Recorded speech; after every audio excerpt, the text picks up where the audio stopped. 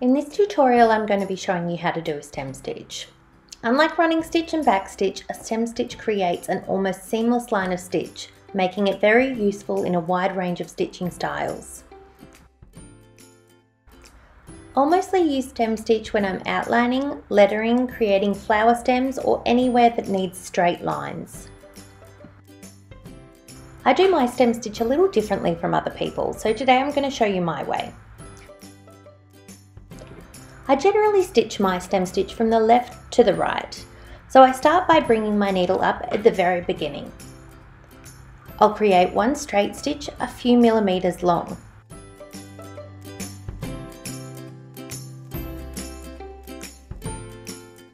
I'll then bring my needle back up about a stitch length in front of the last stitch that I've created. I'm now going to go back and push the first stitch to the side sliding the needle in underneath the last stitch about halfway along the length and then pull the needle back through. I continue the same process of coming up in front of the last stitch and then going back and manipulating the stitch before it. It won't be until the third or fourth stitch that you begin to notice a seamless line is created. It's okay that your most recent stitch might sometimes look a little out of place. Remember that you're always coming back with the next stitch to push your last stitch into place and anchor it to where you want it to sit.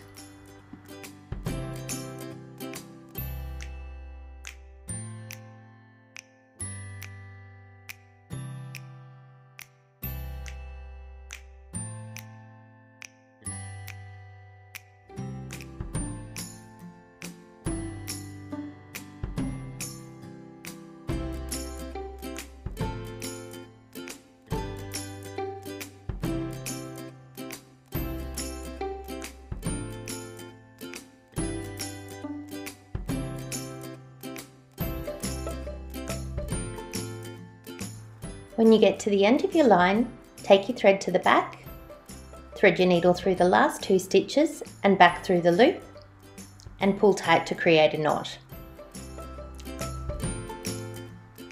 Cut your thread loose, and you're all done.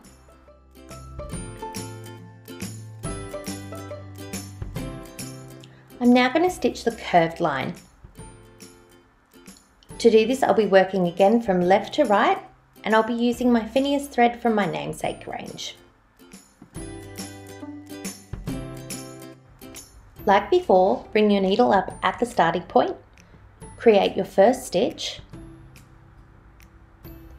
bring your needle back up a stitch length in front of the end of the last stitch, and then you're going to go back and manipulate your last stitch into place by sliding underneath it about halfway along.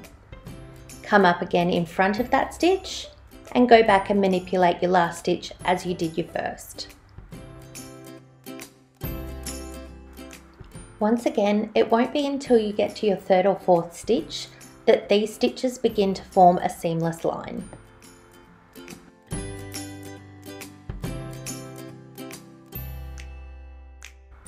As you get used to the running stitch, you'll realise that you can manipulate your stitches in either direction, whether it be to the left or right. It doesn't matter which direction you work in, but you do need to make sure that you maintain the same direction for the whole of the line or the shape that you're working on.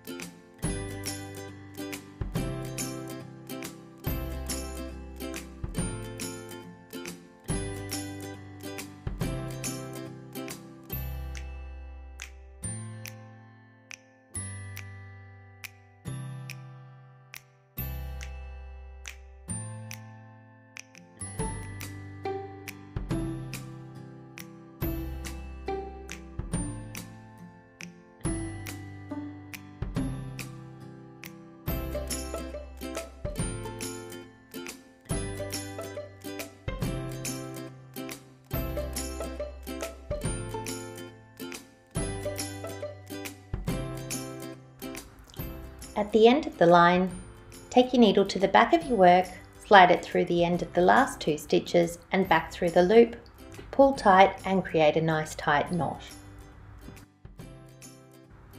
Snip your remaining thread off and you're done. Now you know how to do stem stitch. Thanks for watching.